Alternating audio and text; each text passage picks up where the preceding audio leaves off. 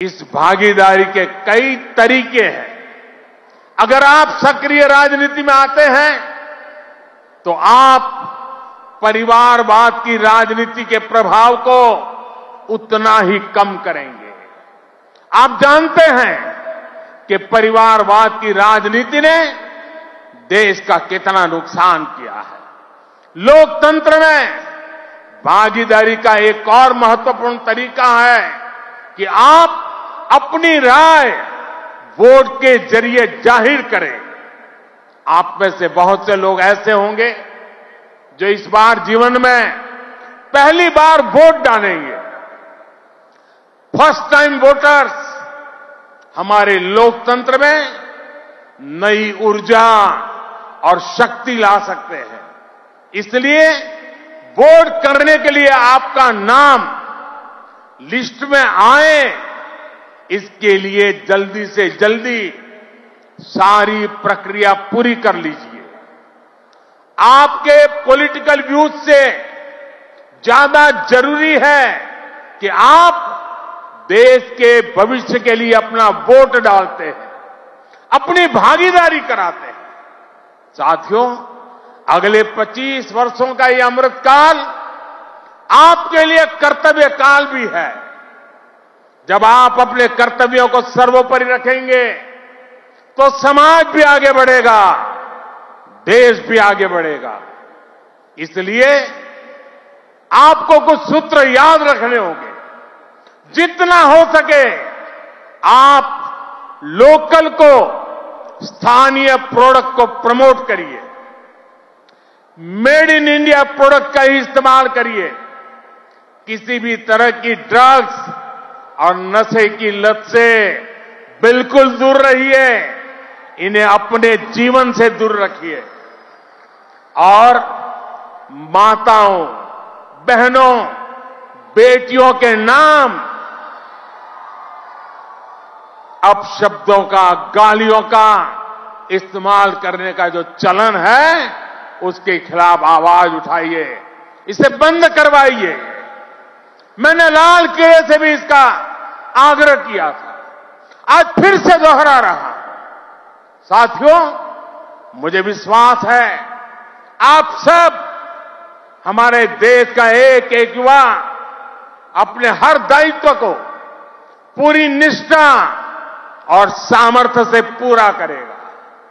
सशक्त, समर्थ और सक्षम भारत के स्वप्न की सिद्धि को जो दीप हमने जलाया है, वो इसी अमृतकाल में अमर ज्योति बनकर विश्व को प्रदीप्त करेगा। इसी संकल्प के साथ आप सभी का बहुत बहुत धन्यवाद। भारत माता की दोनों मुट्ठी बंद करके पूरी ताकत से आप जिस राज्य से आए हैं वहाँ तक आपकी आवाज़ पहुंचनी चाहिए। भारत माता की। भारत माता की। भारत माता की। भारत माता की। वंदे। वंदे। वंदे। वंदे। वंदे। वंदे। वंदे। वंदे। वंदे।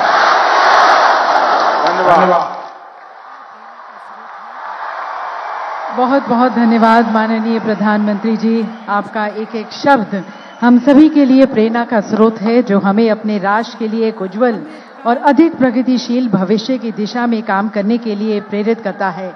एक नया इतिहास हमें रचना है। अमृत काल में हमारे लिए ये कर्तव्य काल है। सभी को मिलकर ये इतिहास रचना है। एक नया भारत। एक विकसित भारत बनाना है। आपके ये शब्द हम सभी को प्रेरणा देते हैं। बहुत बहुत धन्यवाद हमारे पिता तुल्य, हमारे पंत प्रधान को। नरेंद्र मोदी यांना बघत होतो, नाशिकमधील तपोवन या ठिकाणी युवा महोत्सवाचं आयोजन करण्यात आलं आणि यावेळेस पंतप्रधान नरेंद्र मोदी यांनी सर्व नाशिककरांना संबोधित केलेलं आहे. याशिवाय मागच्या सरकारपेक्षा दुप्पट तिप्पट वेगानं आपण काम करतोय असंही त्यांनी सांगितलं आणि आतापर्यंत मोदी सरकार आणणे आणलेल्या सर्व योजनांचा याशिवाय आतापर्यंत केलेल्या कामांचा पाढाच यावेळेस पंतप्रधान नरेंद्र मोदी यांनी वाचला असल्याचं देखील आपण म्हणू शकतो. आज आजची पिढी पारतंत्र्याच्या जोखड्यातून बाहेर निघालेली आहे असं सुद्धा पंतप्रधान नरेंद्र मोदी यावेळेस म्हणालेले आहेत. ढोल ताशांच्या गजरात मोदींचं या ठिकाणी स्वागत करण्यात आलेलं होतं आणि त्यानंतर काही सांस्कृतिक कलाकृती देखील या ठिकाणी सादर करण्यात आल्या आणि त्यानंतर पंतप्रधान नरेंद्र मोदी यांनी सर्वांना संबोधित केलेलं आहे. प्रत्येक राज्यातील संस्कृतीचं प्रदर्शन या ठिकाणी करण्यात आलेलं होतं. पंतप्रधान नरेंद्र मोदी हे या ठिकाणी पोहोचताच त्यांचा मुख्यमंत्री एकनाथ शिंदे आणि उपमुख्यमंत्री देवेंद्र फडणवीस उपमुख्यमंत्री अजित पवार यांनी स्वागत सत्कार सुद्धा केलेला आहे. तर ही दृश्य आपण ज्या वेळेस मोदी या ठिकाणी पोहोचले होते त्या दरम्यानची बघतोय. यानंतर पंतप्रधान नरेंद्र मोदी हे काही वेळातच नवी मुंबईच्या दिशेने रवाना होणार आहे कारण त्यांचा हा नियोजित दौरा आहे आणि पुढे काही महत्त्वाच्या कामांचं लोकार्पण देखील उद्घाटन देखील पंतप्रधान नरेंद्र मोदी यांच्या हस्ते नवी मुंबई या ठिकाणी होणार आहे. हा अखेरचा टप्पा पंतप्रधान नरेंद्र मोदी यांच्या